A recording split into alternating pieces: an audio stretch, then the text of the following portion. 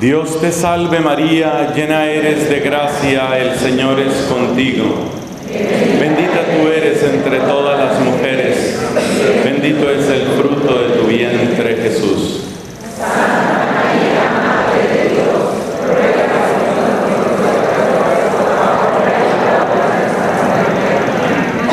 Dios te salve María, llena eres de gracia, el Señor es contigo. Bendita tú eres entre todas las mujeres, bendito es el fruto de tu vientre Jesús.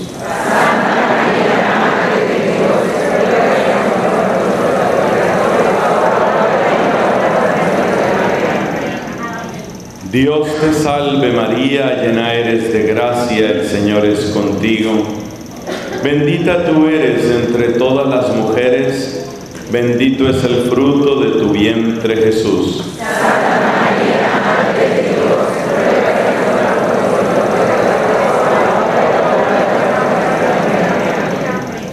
En el nombre del Padre y del Hijo y del Espíritu Santo. Amén. Mis amigos, la bondad de Dios nos permite iniciar este Congreso de la Fe. En el contexto del año de la fe, donde toda la iglesia ha sido invitada a renovarse, también nosotros nos congregamos para renovarnos en la fe. Vamos a tener una serie de enseñanzas, una serie de celebraciones, pero sobre todo la palabra que define este Congreso es la palabra encuentro, porque la fe se renueva si se renueva nuestro encuentro con Cristo. Es en contacto con Cristo como nace y es en contacto con Cristo como se renueva la fe. La fe no es un esfuerzo de nuestra imaginación. La fe no es un paréntesis de nuestro razonar. La fe es la dimensión nueva y profunda de la existencia que nace al encuentro con la persona de Jesucristo. Me parece muy bien que varios de ustedes han dispuesto cómo tomar sus apuntes les invito a que a lo largo de cada una de las exposiciones, no solo las que yo tenga, ustedes vayan tomando nota de aquellas frases que ustedes sienten que les pueden decir algo. Nosotros, hermanos queridos, contamos con la presencia del Espíritu Santo. Sabemos que por el bautismo y la confirmación muy particularmente, y sabemos que al contacto con la lectura de la palabra y en actitud de oración, el Espíritu no está lejos de nosotros. El Espíritu Santo obra ya desde la proclamación misma del mensaje. Y por eso el Espíritu va a querer que tú, de todo lo que escuches, vayas seleccionando y vayas diciendo, esto es para mí. Ese cuaderno que tú tienes o esas notas que tú tomas se basan en eso. Esto es para mí. Esto es para mí. Luego, con la bondad de Dios, tanto el audio como el video de este encuentro estará disponible en internet.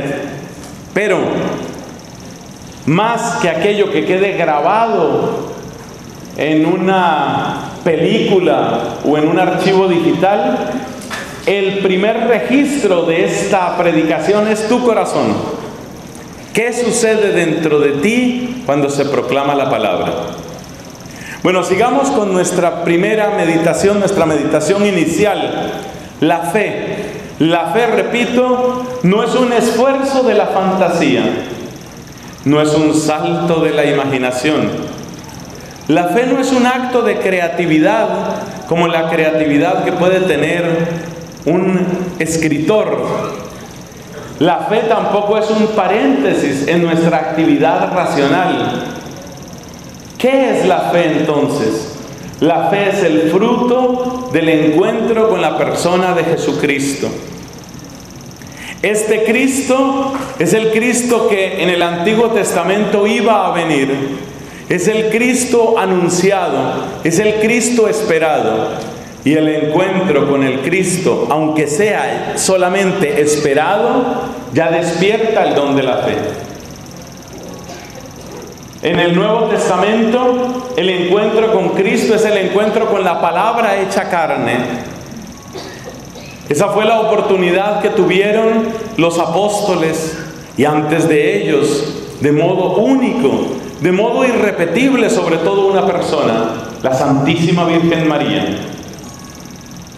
El encuentro con Cristo en el Nuevo Testamento es el encuentro con la palabra hecha carne, y hemos contemplado su gloria, dice el evangelista San Juan.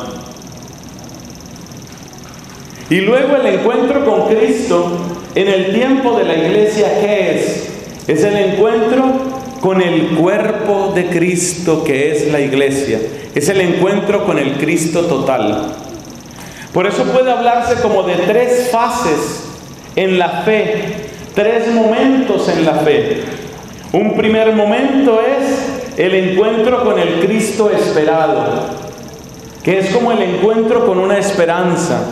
Ese es el encuentro que tiene Abraham, ese es el encuentro que tiene David, ese es el encuentro de los profetas, de los cuales dice la cuarta plegaria eucarística en el misal romano, fueron educados en la esperanza, fueron conducidos en la esperanza. Entonces, primera fase, Encuentro con el Cristo esperado. Segunda fase, encuentro con la palabra hecha carne. Tercera fase, encuentro con el Cristo total. Eso es lo que nos toca a nosotros. Pero en todos los casos se trata de encuentro con Cristo. Es muy hermoso pensar que todo lo bello que haya en el Antiguo Testamento es belleza que brota finalmente de Jesucristo. Porque quita del Antiguo Testamento la esperanza del Mesías, quita del Antiguo Testamento la promesa de ese que tenía que venir, quita eso y ¿qué te queda? No queda sino una sumatoria de fracasos, no queda sino una historia de traiciones, es lo único que queda. El Antiguo Testamento, leído sin la esperanza del Mesías, es solamente un inventario de fracasos humanos. Fracasó la institución de los patriarcas, fracasó Josué, fracasó Moisés, fracasó la alianza, fracasó el tiempo de los reyes porque fueron llamados al destierro. Lo único que sostiene, lo único que sirve de hilo conductor en el Antiguo Testamento es la esperanza del Mesías. Y cuando se ponen en contacto con esa esperanza, los autores y las personas mismas del Antiguo Testamento encuentran la fe. Por eso hay que decir que Cristo ya estaba presente, presente en esperanza, pero ya estaba presente en el Antiguo Testamento. Luego en el Nuevo Testamento es el Cristo palabra hecha carne.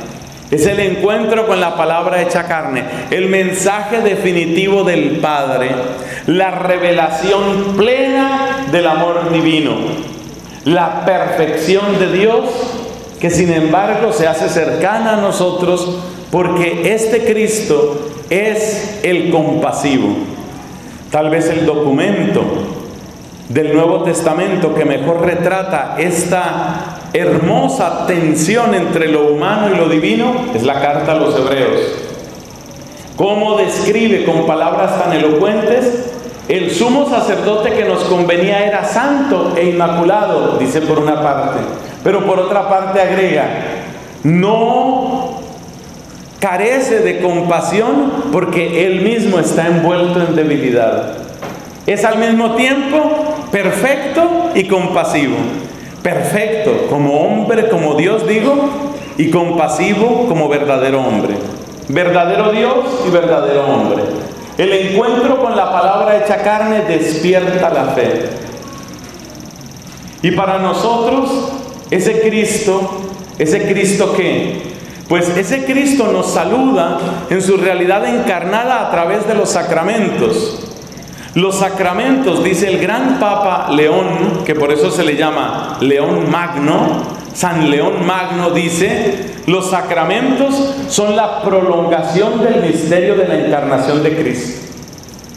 Entonces, cuando recibo la Santísima Eucaristía, verdaderamente la carne de Cristo toca mi carne. Cuando recibo el perdón de los pecados, verdaderamente Cristo pronuncia las palabras, yo te absuelvo, yo te suelto, yo te libero. Ya decía San Agustín, cuando alguien bautiza, es Cristo quien bautiza. Entonces nosotros no estamos en peor condición que los autores del Nuevo Testamento. Nosotros estamos mejor porque tenemos el misterio de la palabra hecha carne, pero tenemos también la gloria que se irradia, esa gloria que los autores y los personajes del Nuevo Testamento ni siquiera pudieron conocer. ¿Y cuál es esa gloria? La gloria de los mártires, la gloria de los doctores, la gloria de las vírgenes, la gloria de los misioneros. Ustedes, lo mismo que yo, cuando íbamos entrando a este salón y a los demás salones, se dieron cuenta cómo nos habían puesto al lado y lado en el corredor toda una serie de santos, santos mexicanos, beatos y santos mexicanos, a uno y otro lado. Sí lo observaron, ¿no? Cuando íbamos entrando. Esa es gloria de Cristo. Cada uno de esos beatos, cada uno de esos santos. Entonces ahí está San Felipe, ahí está San Juan Diego, cada uno de esos santos, cada uno de esos beatos, ¿qué nos está diciendo? La gloria de Cristo. Y por eso nosotros estamos en una condición privilegiada, porque nosotros podemos entrar en contacto con la carne de Cristo a través de los sacramentos en especial y podemos entrar en contacto con la gloria de Cristo a través de la santidad y la luz que colma a la iglesia. Bueno, ¿qué tenemos hasta ahora, mis hermanos? Hay que ir haciendo pequeños resúmenes para que no nos perdamos en este mar de luz. Porque a mí, a mí cuando me dicen Congreso de la Fe, yo pienso en un océano de luz. Me gustó tanto la presentación que hizo el Padre Víctor nosotros nos reunimos aquí como en familia, como en la casa, para deleitarnos, deleitarnos en el océano de luz, el océano de luz que brota de nuestra predicación, aquella en la que hemos puesto nuestra fe. Bueno, resumen entonces hasta aquí. Congreso de la Fe significa renovarnos en aquello que creemos. ¿Cómo se renueva uno? Al encuentro con Cristo. ¿Cómo se ha dado el encuentro con Cristo a través de las etapas de la historia? Respuesta, esto es como un catecismo. Respuesta, en el Antiguo Testamento era el encuentro con la esperanza del Mesías, era el encuentro con el Cristo esperado. En el Nuevo Testamento era el encuentro con la palabra hecha carne, y en el tiempo de la iglesia es el encuentro con el Cristo total, que es una maravilla, porque ese encuentro con la verdad de la encarnación, especialmente a través de los sacramentos, y es un encuentro con la gloria del Mesías. Nosotros, en los santos, especialmente en los santos, tenemos ocasión de presenciar cómo es bello Jesús porque cada uno de los santos es como una irradiación, como un rayo que sale de Jesucristo. Entonces miramos, por ejemplo, a Santa Marianita de Jesús Paredes y encontramos un rayo perfumado de pureza que nos fascina. Miramos a San Juan Diego y encontramos la docilidad, la obediencia, la humildad. Y ese rayo nos ilumina. Encontramos a un Santo Tomás de Aquino y nos bañamos en una luz de sabiduría y de ciencia divina. Nos vamos a un San Francisco Javier y encontramos el fuego por la causa de Cristo. Qué cosa tan bella vivir en el tiempo en el que estamos. Yo quiero, tengo el deseo profundo de que nosotros de este Congreso de la Fe salgamos felices, felices de nuestra fe, felices de la fe que hemos recibido. Por supuesto, no es únicamente un inventario, sino que es también un qué? Un compromiso. Porque así como ellos, Francisco Javier, Santo Tomás de Aquino, San Juan Diego, Santa Mariana de Jesús Paredes, así como todos estos santos han sido luz, pues ahora nos toca a nosotros. Ahora es nuestro tiempo. Entonces cada uno con el don que ha recibido tiene que ponerse al servicio de los demás. Y por eso dice el lema de este Congreso, con fe cambiamos qué? Con fe con fe cambiamos realidades. Con fe cambiamos realidades. Es decir, que la fe tiene poder transformante, poder transformante. La fe no se queda como un dato en nuestra conciencia, no se queda simplemente como una pieza, una pieza más dentro de una especie de constructo mental. La fe es torrente vital que me transforma, que me renueva, que me ilumina y que me convierte también en un instrumento de cambio, en un instrumento de transformación. Ahí hemos terminado la primera parte de nuestra primera charla. La primera parte de la primera charla. ¿En qué consistió la primera parte? Responder a esta pregunta. ¿Para qué nos reunimos? Nos reunimos para renovar nuestra fe. ¿Cómo se renueva la fe? Al encuentro con Cristo. ¿Cómo se da el encuentro con Cristo? Ya lo explicamos. Antiguo Testamento, Nuevo Testamento, tiempo de la iglesia. Ahí está. Ya hemos respondido a esa primera pregunta. ¿Para qué nos reunimos? ¿Para qué nos reunimos? Y ya tenemos esa primera respuesta, el encuentro con Jesucristo. Bueno, pasemos a la segunda parte de la primera charla. La gente que está tomando apuntes es la que va a tener esa cabecita mucho mejor organizada. Algunos que no toman apuntes van a empezar a sentir poco a poco un dolor profundo en su cabeza que se sobrecarga de información. Entonces ustedes notarán que en un descanso que vamos a dar una cantidad de gente sale a buscar pastillas. Pero es por eso, porque tienen una sobrecarga, una sobrecarga de información. Entonces, ya, ya aprendió cómo era la primera parte de la primera charla. Ahora pasamos a la segunda parte de la primera charla. La segunda parte va llevando el mismo hilo. Si la fe nace y se renueva al encuentro con Cristo, entonces vamos a hacernos esta pregunta. ¿Cuáles son las principales presencias de Cristo? Porque encontrarse con Cristo es entrar en su presencia. Cristo es el lugar de encuentro entre Dios y el hombre. Pero ¿cómo se hace presente Cristo? Inmediatamente llegan a nuestra mente varios pasajes bíblicos. Como ustedes son gente de lección divina, están muy familiarizados con textos de la palabra.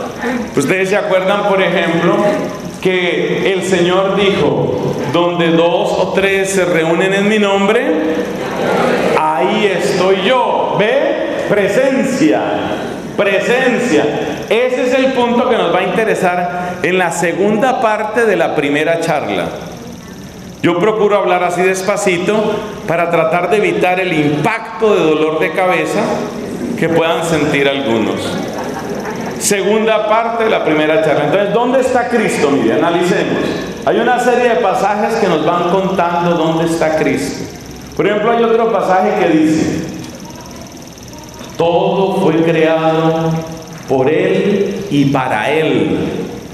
Por Él y para Él. Eso nos interesa muchísimo. Por Él fueron hechas todas las cosas. Para Él fueron hechas todas las cosas. Quiere decir que entonces incluso la creación es un lenguaje que nos habla, que nos presenta a aquel a quien luego conocimos como palabra hecha carne. ¿En qué libro de la escritura se dice que todo fue creado por Él y para Él? ¿En qué libro de la escritura? Por favor, concéntrese, porque esto es aquí, esto es aquí una conversación, pero tenemos que mantener la altura de esta conversación. Además, como esto se está grabando, incluso en video, entonces, ¿qué pasa? Que si ustedes dicen, ah, eso está en el libro de Esdras, entonces la gente, uno no debe obrar por el qué dirán, pero la gente va a decir, ay, pobrecito los de Poza Rica, Dios mío. Pobrecito los de Poza Rica. Entonces no hagan quedar mal a Poza Rica.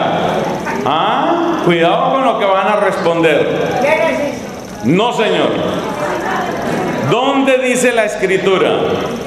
Que todo fue creado por Él y para Él. Hay una mano levantada en el Evangelio de Juan. No está exactamente. En el Evangelio de Juan sí se dice, sí se dicen varias cosas sobre la creación, claro, pero todo fue creado por Él y para Él. ¿Eso donde aparece? Hay otra mano levantada allá y ese caballero dice, eso es correcto en la carta a los colosenses. Por favor, dele un solo aplauso a este señor. Dijimos un aplauso. Por favor, otra vez hay que ensayar. Dele un aplauso a ese señor. Carta a los colosenses. Entonces fíjense que llevamos dos presencias. Hay presencia de Cristo donde dos o tres, ¿qué dijo? Se reúnen en mi nombre. Hay presencia de Cristo en la creación, porque por Él y para Él fueron creadas todas las cosas. Resulta que también hay presencia de Cristo en la divina Eucaristía, porque dice la palabra, tomad y comed todos de Él, porque esto es mi cuerpo, presencia de Cristo. Los cuatro evangelios nos presentan la institución de la Eucaristía, verdadero o falso. Dios mío, voy a llorar. Los cuatro evangelios nos presentan la institución de la Eucaristía, verdadero o falso. Falso, claro, si no es verdadero, tiene que ser falso. tiene que ser falso. Pregunta, por favor, haga quedar bien, haga quedar bien el estado de Veracruz. Haga quedar bien ante internet a Poza Rica. Hágame el favor. ¿Sí sabe cuál es la diócesis a la que pertenece Poza Rica, no? Ah, bueno. Haga quedar bien, por favor, a Costa. ¿Cuál es el único evangelio que no presenta propiamente la institución de la Eucaristía? ¿Cuál es? Eso, ahora sí está bien. Ya por ahí nos vamos entendiendo mejor. Pero la institución de la Eucaristía, aunque no aparece en Juan, sí está el discurso del pan de vida que se encuentra en el capítulo 6. Ahora sí, ya cuando les dije que internet y que van a salir en público, ahí sí como que dijeron, bueno, toca responder bien. Capítulo sexto de Juan tiene el discurso del pan de vida. Y el discurso del pan de vida realmente es una fuente preciosa para la teología eucarística.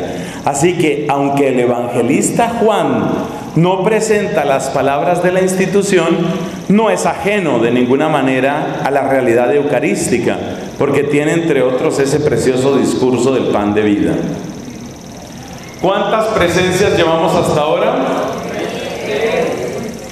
La primera, cuando dos o tres están reunidos en mi nombre, ¿cierto?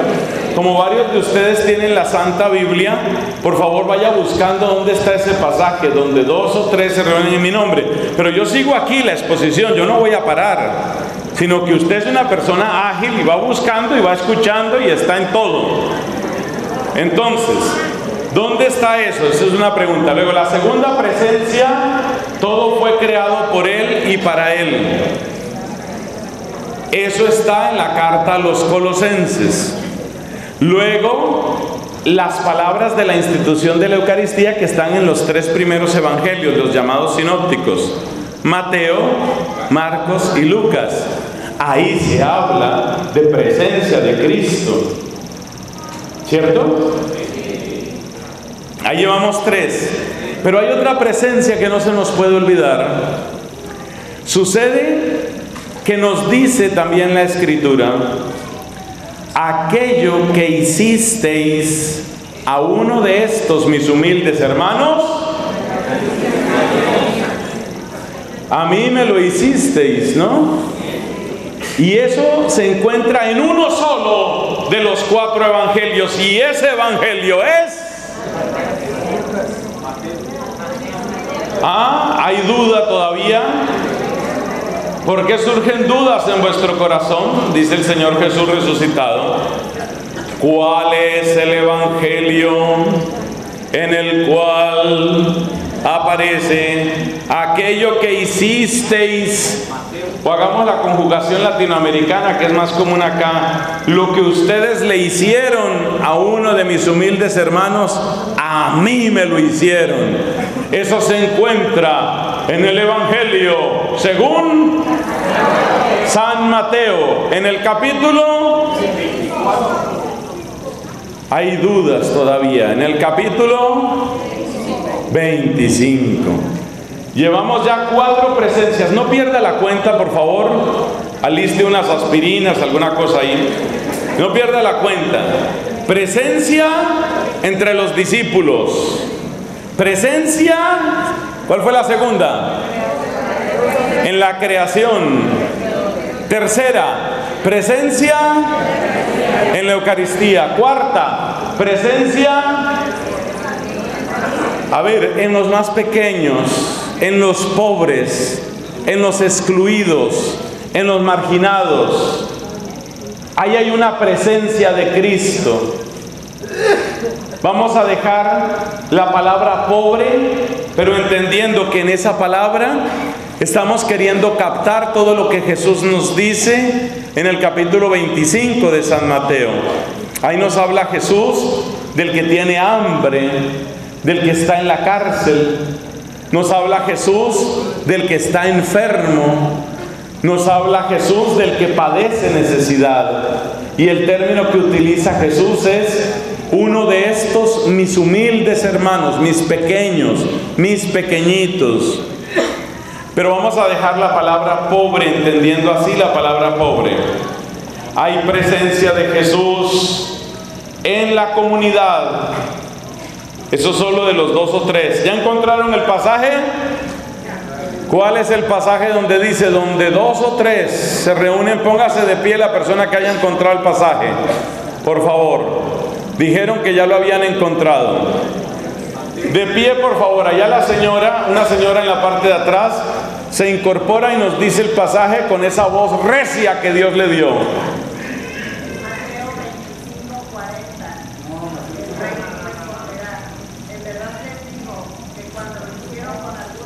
No, madrecita querida, ese no es el que estamos buscando. Estoy preguntando en dónde dice Jesús donde dos o tres se reúnen en mi nombre, ahí estoy yo. Aquí hay otro caballero, otro caballero que se levanta, se incorpora. Ese es Mateo 18, 20. Ese sí puede ser, lea por favor. Cuando están dos o tres reunidos en mi nombre, ahí estoy yo en medio de ellos. Ese sí es Mateo 18, eso sí es Mateo 18, 20. Luego dijimos presencia en la creación todo fue creado por Él y para Él. ¿Eso dónde se encuentra? ¿En qué? Colosenses que quien tenga el pasaje se pone de pie. Listos con el micrófono, por favor, porque hay alguien que se va a poner de pies. Es en la carta a los colosenses, ¿dónde está? Es muy conocido ese texto porque lo tenemos, por ejemplo, en el cántico, cántico de vísperas, los días miércoles tenemos el cántico de colosenses. Entonces, ¿dónde está? Ahí están buscando todavía colosenses. Luego, tercero, la presencia, ¿ya lo encontraste? Ahí hay un joven que levanta su mano, incorpórese por favor. Dios lo ha creado a usted y usted es expresión de la obra de Dios. Ahí se le acerca el micrófono y el muchacho va a decir, ¿cómo es su nombre por favor? Omar. Omar. Muy bien, cuéntenos, ¿cuál es el pasaje? Es Colosenses 1.16. ¿Cómo dice? Porque en Él fueron creadas todas las cosas, las del cielo y las de la tierra, las visibles y las invisibles, tronos, dominaciones, poderes, potestades. Todo lo ha creado Dios por Él y para Él. Ese es Colosenses 1.18. Diez- 16. 1.16, gracias. Colosenses 1.16. Bueno, luego tenemos los relatos de la institución de la Eucaristía, que son tres, porque ahí aparece en, bueno, en realidad son cuatro, porque también está en Primera Corintios, ¿no? Evangelio según San Mateo, Evangelio según San Marcos, Evangelio según San Lucas y primera carta a los colosenses nos hablan de la institución de la Eucaristía. Tomad y comed todos de él. Por ejemplo, en la versión de San Marcos, busque por favor hacia el final del Evangelio de Marcos. Eso tiene que estar en el capítulo 14 de San Marcos, para que no demos tantas vueltas. Busque el capítulo 14 de San Marcos. Ustedes son gente de lección divina. Ustedes son gente que eh, se ha enamorado de la palabra de Dios. Entonces, a ver, ¿dónde está?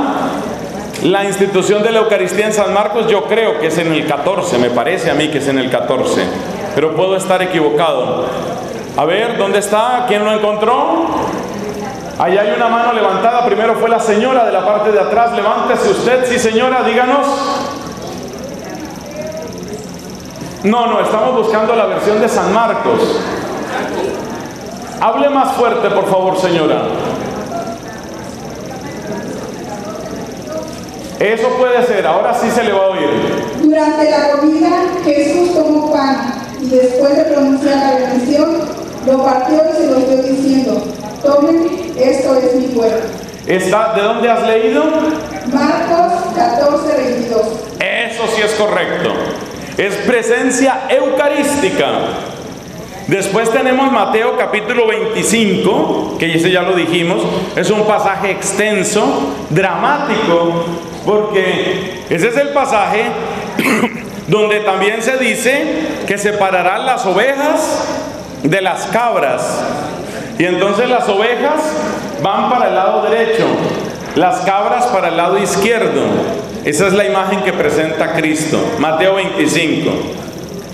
Hay otra hay otro pasaje que es difícil, pero yo veo que ustedes están entrenando cada vez mejor y lo van a encontrar. ¿Quién se acuerda en qué libro de la Escritura dice el Señor Jesucristo? Si lo dice el Señor Jesucristo quiere decir que debe ser en los Evangelios. Porque solo hay una frase de Jesús que no está en los Evangelios. Ojo con esto que acabo de decir. Solo hay una frase que se atribuye al Jesús histórico que no está en los evangelios, entendiendo por Jesús histórico Jesús antes de padecer. Obviamente, en los hechos de los apóstoles, en el Apocalipsis, aparecen frases de Cristo. Por ejemplo, en Hechos de los Apóstoles, capítulo 9, Jesús le dice a Pablo, yo soy Jesús a quien tú persigues. Pero ese es el Cristo ya después de resucitar. Solo hay una frase de Cristo. Una frase que se supone que Cristo dijo antes de padecer. Solo hay una, una sola frase de Cristo que se supone que la dijo antes de padecer y que no está en los evangelios. Esa frase no tiene que ver exactamente con el tema de este congreso, pero esa frase es como un cariñoso desafío que yo les dejo a ustedes que aman la Biblia para que en el descanso que vamos a tener en unos minutos, ustedes por favor van a buscar cuál es la única frase, solo hay una, la única frase que se supone que Cristo dijo antes de padecer, pero esa frase no está en los evangelios. Esa es, ese es un cariñoso desafío para que cuando tengamos el descanso, el pequeño descanso que vamos a tener, entonces ustedes, además de conversar cómo fue de bonito el aguacero que cayó hoy, pues puedan hablar también de otras cosas. Entonces fíjense, van a buscar esa frase, solo hay una. Esto es gente que tiene que conocer muy bien la Biblia para responder a esa pregunta. Pero yo sigo ahora con mi tema. Ese era simplemente como un, un, pequeño desafío para que ustedes profundicen en la Biblia. Bueno, ahora vamos con las presencias de Cristo. ¿Cuántas llevamos? ¿Cuántas llevamos? Cuatro. Cuatro. Me gusta aquí mi vecino de primera fila que me mira con cara de que yo todavía no tengo dolor de cabeza. Muy bien, mire, y ahí le alcanzo a ver el nombre, se llama Abelardo, ¿sí es? Abelardo. Bueno, entonces, quinta presencia, vamos llegando a la quinta presencia. La quinta presencia es esta. Jesús dice, ustedes leen las escrituras queriendo encontrar la verdad. Ellas hablan de mí. Luego hay presencia de Cristo ¿dónde? En las escrituras. Esta, hay una frase que hizo famosa el gran Jerónimo, San Jerónimo.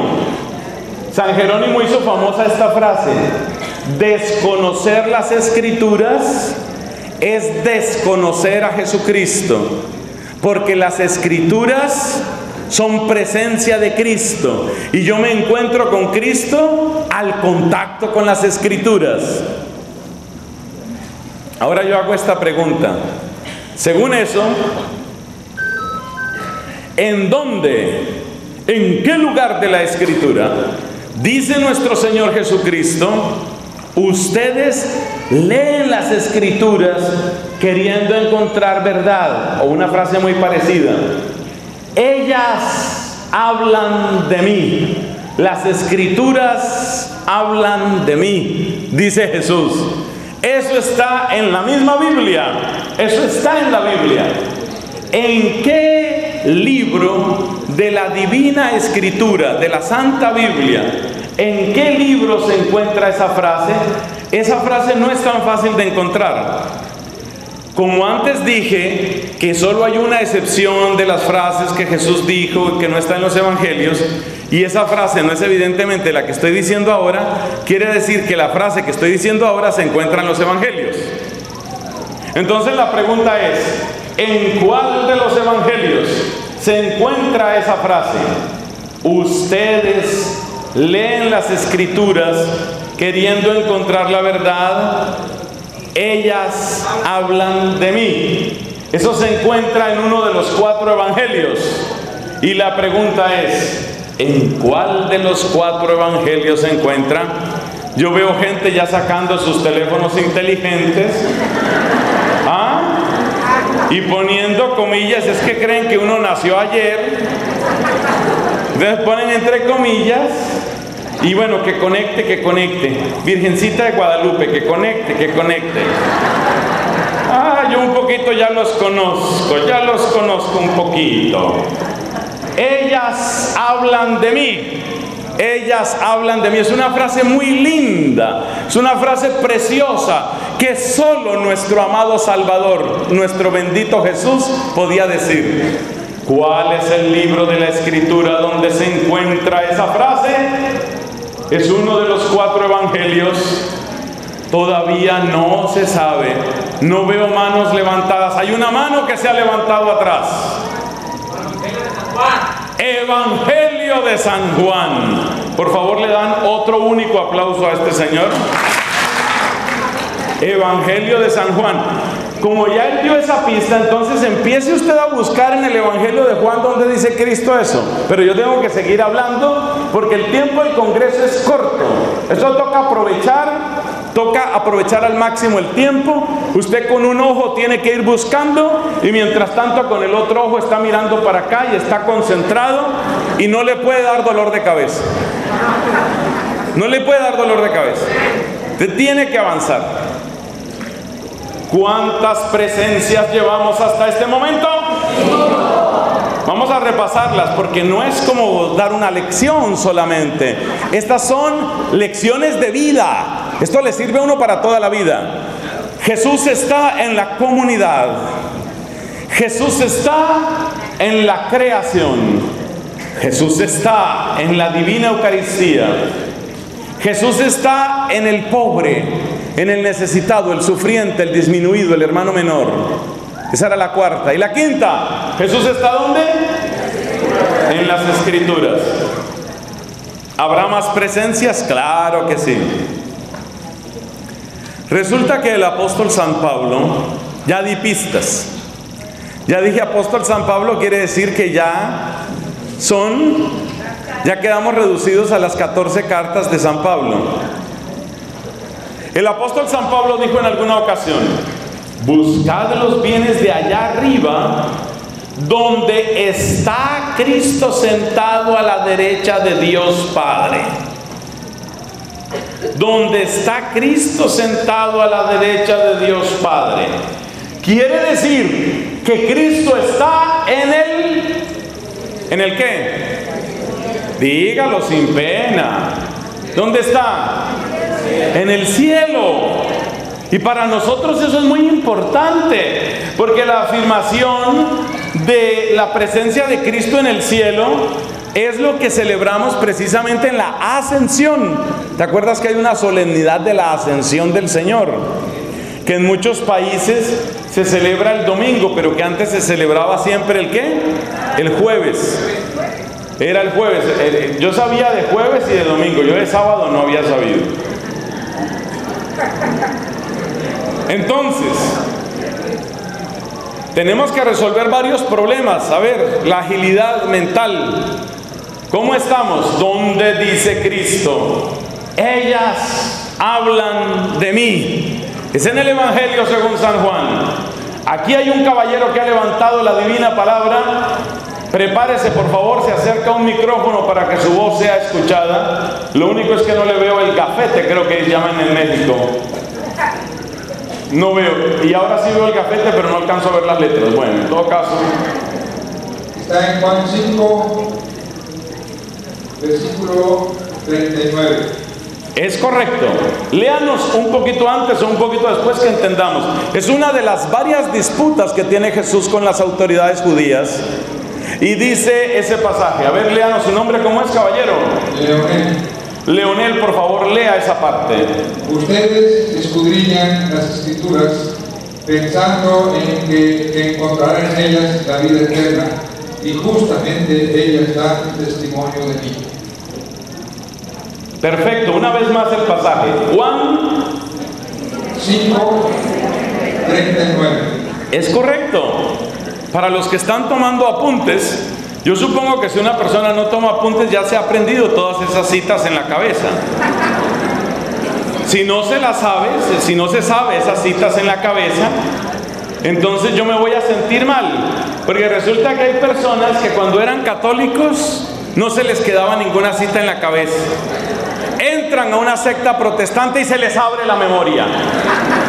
Ahí sí se les abre la memoria, ya se saben todas las citas, y eso no puede ser. Nosotros tenemos que amar nuestra palabra y amar los tesoros de fe y gracia que tenemos en la iglesia católica.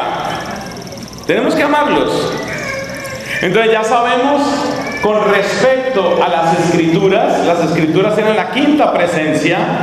Con respecto a las escrituras tenemos el pasaje Juan 5, 39. Abelardo, para que se vaya aprendiendo todo en esa cabeza prodigiosa. Bueno, resulta que el apóstol San Pablo, está en la presencia número 6, el apóstol San Pablo dice, buscad los bienes de allá arriba, donde está Cristo sentado a la derecha del Padre, indicando que Cristo está, ¿Cristo está donde? En el cielo. Cristo está en el cielo. Eso es muy importante, porque Él también dijo, me voy, pero me voy a qué? A prepararles un lugar. En la casa de mi Padre hay muchas habitaciones. Cuando yo me vaya y les prepare un lugar, los llevaré para que estén para siempre conmigo. Entonces es muy importante la presencia celestial de Cristo. Bueno, pero no hemos resuelto el problema. ¿En qué lugar de la escritura se encuentra aquello de que buscad los bienes de allá arriba, donde está Cristo sentado a la derecha del Padre? Esa es una carta de San Pablo. ¿Cuál será esa carta de San Pablo? Por favor, quiero ver una mano levantada. Y veo solamente una mano levantada en toda la asamblea. Y de nuevo tenemos al hombre que va a tocar darle un premio. ¿Cuál es? ¡Wow! Tienen que decir conmigo, por favor. ¡Wow! Muy bien. Toca darle otro aplauso. Lleva tres. Un aplauso. Efectivamente, busque por favor Colosenses capítulo tercero, presencias de Cristo. Estamos en el tema de las presencias de Cristo. Y en el tema de las presencias de Cristo está aquello de... Aquello de que qué? Buscad los bienes de allá arriba. ¿Cuál es el versículo, por favor? ¿Quién levanta primero esa mano? Atrás veo una mano levantada. Es un personaje conocido por ustedes, muy querido por ustedes. Responde al nombre de Alejandro. Acérquele un micrófono allá, Alejandro, por favor. El micrófono para Alejandro, ¿cuál es? Colosenses qué? Uno, es uno. Y dice de la siguiente manera, léenos ese, ese pasaje que es bello, es una inspiración para la vida cristiana. Así pues, si habéis resucitado con Cristo, buscad las cosas de arriba, donde está Cristo sentado a la diestra de Dios. Es correcto. Llevamos seis presencias y ahora nos vamos a ir a la séptima presencia. La séptima presencia, séptima y última, debe haber más. Pero para nuestro resumen aquí nos vamos a quedar con siete, que es un número tan bello. Dicen que el número siete es el número de la perfección, ¿no? Número de la perfección en la Biblia. La séptima presencia, la séptima presencia se encuentra también en uno de los evangelios y dice, el Señor Jesús cooperaba con los que anunciaban el Evangelio. Salieron a predicar y el Señor cooperaba, Él obraba con ellos, con los que salieron a predicar. Jesús está presente en la boca de los misioneros. Jesús está presente no solamente con las palabras, sino también con los milagros y prodigios. Casi todos estos santos que nos acompañaron cuando veníamos de para acá han hecho cantidad de milagros. Los milagros de Dios son presencia singularísima de Cristo. Y dígamelo a mí que los he visto con mis ojos. Yo he visto lo que es orar por una persona y que la persona se sane. Eso es una presencia hermosísima de Jesucristo. En los milagros, en los carismas está Cristo presente. Pero en cuál de los evangelios aparece que el Señor Jesús cooperaba con los que estaban anunciando el evangelio. Incluso hay una traducción de la Biblia que lo dice así tal cual. Veo una mano levantada. Veo que está leyendo de un aparato. Ah, es un aparato. Ajá. Pero dice, dice, dice ahí que no se vale. Mm. Pero en todo caso levantó la manito. Ah, que hay que saberlo buscar, dice ella. Bueno, está bien, está bien. Cuéntenos en dónde lo encontraste. Eso puede ser en el Evangelio de San Marcos, en lo que se llama la coda o la conclusión del Evangelio de Marcos. Acércale por favor el micrófono a esta señora para que ella nos lea ese pedazo. Esa es la, parte conclusiva del Evangelio de Marcos, parte conclusiva. Entonces, muy bien, tenga la bondad, señora, nos lee ese pedacito. Sí, en todas partes el Señor cooperaba, confirmando la palabra con las señales de los santos y el mismo Señor No se te entendió del todo. Es que es hermoso que la palabra de Dios resuene, pero vamos buscando otros. Marcos 16, ¿qué? Marcos 16, 15. O si otra persona quiere leer, que tenga otra traducción que la podamos entender mejor. Mire, ahí se va a poner de pie nuevamente. Me parece que es Omar el que se va a poner de pie. ¿O quién será? A ver, por favor. El tiempo en televisión es muy corto. Marcos 16, 15. ¿Qué pasa, Omar? Se incorpora por fin. Y les dijo, vayan por todo el mundo y anuncien la buena nueva a toda la creación. El que crea y se bautice se salvará. Está muy largo desde donde empezaste a leer. Más abajito, 16, 15. Entonces 16, 20 puede ser, sí, más adelante. Ellos por su parte salieron a predicar Eso, ahora lea eso, pero por favor con toda la inspiración, porque esto se tiene que cumplir luego en nosotros. Ahí se está diciendo de los apóstoles, pero hoy a quién le toca ser apóstol? A todos nos toca ser apóstoles. Lea por favor con tono capaz de inspirar a esta asamblea. Ellos por su parte salieron a predicar en todos los lugares. El Señor actuaba con ellos y confirmaba el mensaje con los milagros que los acompañaban. Es correcto. Entonces, hemos encontrado así siete presencias de Cristo. Siete presencias de Cristo. La primera que mencionamos, en realidad las hemos dicho como en desorden, pero, pero son siete, son siete bellísimas. Mire, la presencia de Cristo en la comunidad, donde dos o tres se reúnen en mi nombre, ahí estoy yo. La presencia de Cristo en la creación, todo fue hecho por Él y para Él. La presencia de Cristo en la en la Eucaristía, que me gusta como dicen los orientales, la divina Eucaristía.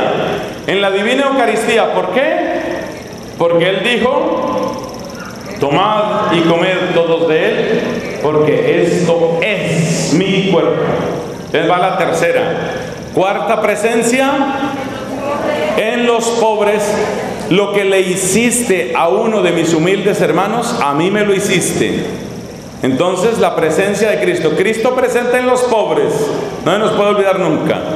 Quinta presencia, en las escrituras, ellas, ¿cómo es? Ellas. Y por eso San Jerónimo dijo, desconocer las escrituras es que lo, que lo oigan, dígalo fuerte para que los que están distraídos vuelvan aquí. Desconocer las escrituras es... Exactamente, eso es Juan capítulo quinto.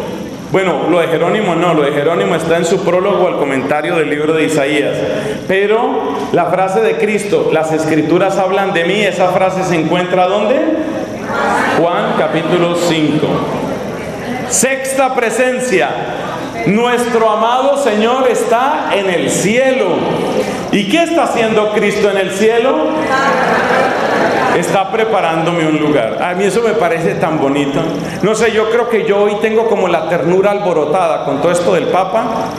Tengo como la ternura alborotada. Estoy muy sensible con, con todo lo que sucedió hoy con el Papa. Y me parece tan hermosa esa frase de Cristo. ¿Qué tal eso? Que uno le pregunte, bueno, ¿y qué está haciendo Cristo en el cielo? Le parece poco. Está preparando un lugar. ¿Ah? Eso es muy hermoso. Y esa es la presencia número. Y la presencia número 7 es en los misioneros y especialmente en el poder de la predicación y en el poder de los milagros. No me quite los milagros. Los milagros existen, suceden. Uno no debe amarrarse a los milagros. Si Dios quiere dar milagros, bendito sea su santo nombre. Si no hay milagros, bendito sea su santo nombre. Pero que Cristo acompaña con su presencia a los misioneros y que muchas veces hace maravillas a través de quienes predican la palabra, eso es verdad. Eso es totalmente cierto. Entonces, esa es la segunda parte de la primera charla. La primera parte era para qué nos reunimos, para renovar nuestra fe. Segunda parte, ¿cuáles son las presencias de Cristo? Ya vimos que son siete. Yo estoy feliz porque mi amigo Abelardo ya sacó un papelito. claro, sigue tener un papelito, hay que apuntar. Hay que apuntar. Bueno, vamos a dejar entonces por ahora, vamos a dejar ahí, porque nuestro siguiente punto es cómo esas presencias de Cristo despiertan en nosotros las fuentes de una vida nueva. Acuérdese que hay un lema que dice, con fe. Entonces la fe no es una decoración, ni una fantasía, ni una pieza dentro de un rompecabezas mental. La fe es un manantial de vida y el que tiene fe experimenta el poder transformante de Dios y se convierte también en fuente de transformación. Claro que hay surge una pregunta que la abordaremos en otras reuniones. ¿Y si nuestros pueblos, porque yo siento que somos una sola familia, Latinoamérica, si nuestros pueblos son tan católicos, ¿qué pasa con el poder transformante de la fe? ¿Dónde lo estamos escondiendo? Si la fe es fuerza transformante, si la fe es poder que cambia corazones, cambia estructuras, ¿por qué? ¿Por qué pasan tantas cosas? ¿Por qué hay personas que parecen seguir los caminos de las tinieblas, los caminos de la muerte y no los de la vida? ¿Dónde está el poder transformante de nuestra fe? Esta es una pregunta que tendremos que resolver. Pero eso será más adelante. Por ahora ya tenemos esas dos partes para que nos hemos reunido y las presencias de Cristo. Entramos ahora a un pequeño descanso, vamos a dar unos 10 minutos de descanso. Antes de que se levanten, por favor, acuérdense que ustedes tienen un desafío. Acuérdense, ustedes tienen que encontrar cuál es la única frase, porque solo es una, del Jesús histórico, que no está en los evangelios. No es una frase de Cristo resucitado, es una frase que se atribuye a Jesús histórico. ¿Cuál es esa frase y en qué lugar se encuentra? Esa es, esa es la búsqueda. Y mucho me temo que para eso no te va a servir tu smartphone.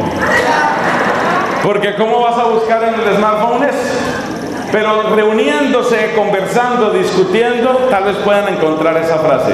Descansamos 10 minutos, tomen aire, estiren las piernas, volvemos aquí, Dios los ama mucho.